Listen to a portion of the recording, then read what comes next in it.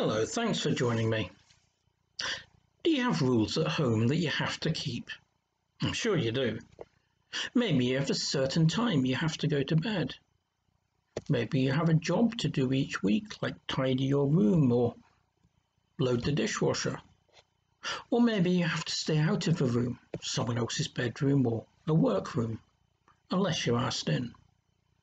Or maybe you have other rules I haven't mentioned. As well as rules, there are also ways you are supposed to behave, like being nice to other members of your family, being polite, and so on. Now, let me ask you this Who made the rules? I suspect it was your parents. And why do you think they made them? Not to stop you having fun, I'm sure. They made them because that's the best way for different people in the house to live peacefully together and to know what's what. The rules are there to make the house a nice place to live with the people you love and who love you. And when you think of them like that, the rules are a good thing.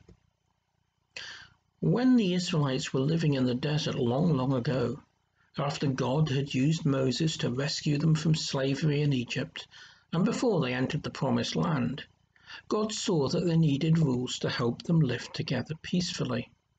So he called Moses to him and gave him a list of rules, carved on two stone slabs by God himself. The list of rules are what we call the Ten Commandments.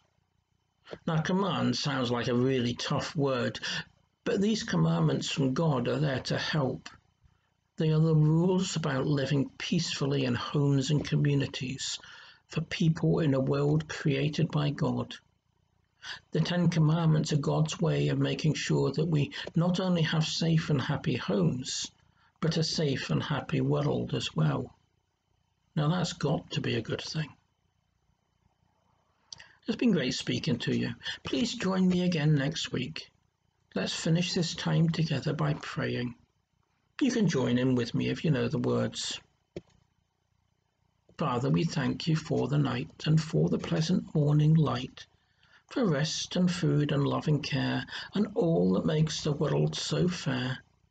Help us do the things we should, to be to others kind and good.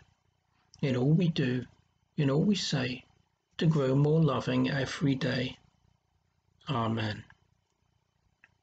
I'll speak again next week.